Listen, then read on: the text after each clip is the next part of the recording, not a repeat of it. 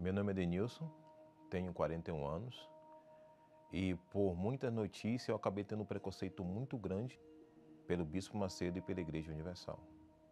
E por esse preconceito eu pensava né, que a igreja era um ponto de arrecadação de dinheiro. E fora que as pessoas também chegavam a comunicar né, que se eu fosse na Igreja Universal, é, eu ia ser roubado, que ali era um ponto que você chegasse, se você chegasse a ter alguma coisa, eles iam acabar lhe roubando dentro daquela instituição. Então era isso que as pessoas alimentavam para mim, que a Igreja Universal era dessa forma. O Bispo Macedo, é, eu tinha raiva do Bispo, sem conhecê-lo. Né? Porque as pessoas falavam né, que o Bispo era um charlatão. Então, assim, esse também passou a ser o meu pensamento. Então, sem conhecê-lo, eu acabei tendo raiva do bispo também. Eu pensava dessa forma, que as pessoas que chegavam ali, ela não tinha instrução. Então, por ela não ter uma instrução, eles manipulavam e as pessoas davam aquilo que ela não tinha. E um fato interessante é que na minha infância, que nós tivemos, eu tive uma infância muito difícil, é, meu pai, ele morreu, eu era muito pequeno, era criança. Então ficou a minha mãe para ela cuidar de cinco filhos. Então era uma situação muito difícil, ao ponto de minha mãe trabalhar e nós comíamos o resto das pessoas. Então quando ela chegava dentro de casa, eu não esqueço é, dessa imagem, ela chegava com um balde, se eu não me engano, de maionese de 3,600 e ali tinha resto de comida. Eu comecei a, a procurar um meio de preencher o vazio que eu tinha. Então eu comecei a beber, eu comecei a me envolver em alguns relacionamentos, ao ponto de eu chegar a usar drogas. E mesmo assim, nesse estado que eu estava vivendo, eu continuava com esse preconceito dentro de mim, de não ir para a igreja. E eu não pedia ajuda. Às vezes a minha mãe ela sempre chegava e falava: "Meu filho vai para a igreja", mas eu não queria saber. E todas as vezes que eu chegava em casa era interessante é, eu ligava a televisão, poderia estar drogado, poderia estar embriagado, mas quando eu ligava, estava sempre a programação da igreja. E automaticamente eu desligava. A minha situação só piorava. Eu não tinha perspectiva de vida. Para mim, eu não tinha mais solução para mim. Até o ponto de a minha mãe ela falecer. E quando ela faleceu, ela deixou uma lição muito forte. Meu filho vai para a igreja. Até o dia que, uma sexta-feira, eu cheguei na Igreja Universal. Não tinha mais outro lugar. Era sexta-feira, eu, cheguei naquela igreja, uma igreja grande. Eu olhei assim, eu vi um monte de cadeiras na frente do altar.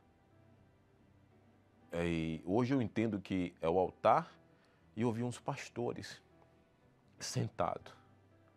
Eu fui até um deles, até um deles eu estava de bermuda, de chinelo, de camiseta, e eu não esqueço o nome desse pastor, o pastor Luiz Carlos.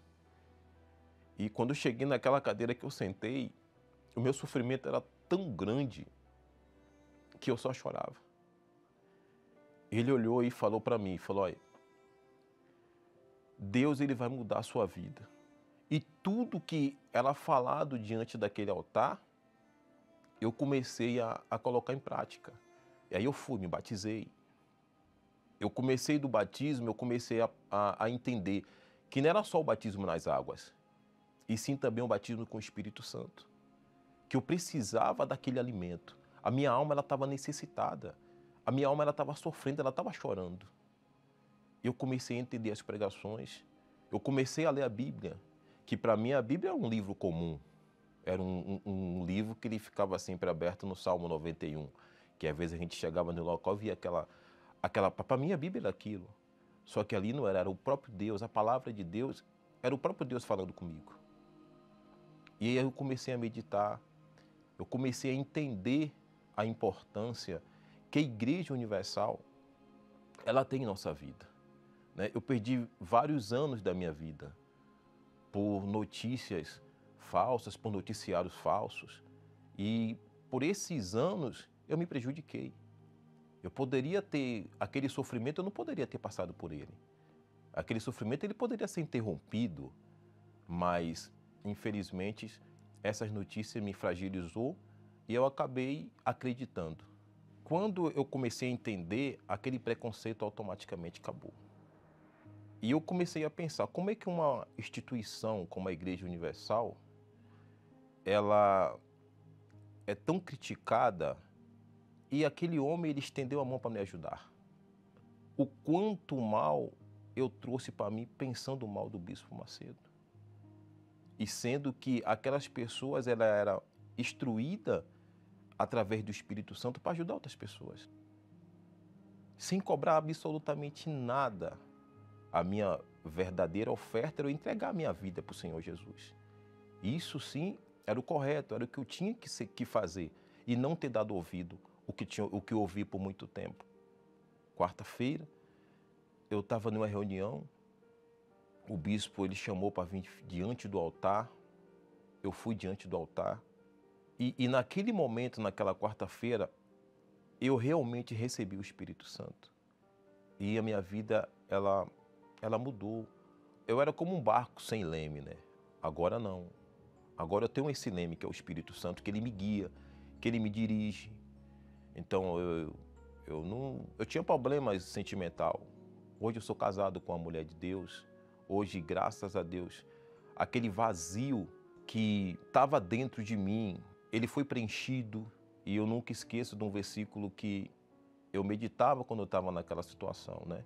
Eu nunca vi um justo ser desamparado, nem a sua descendência a mendigar o pão.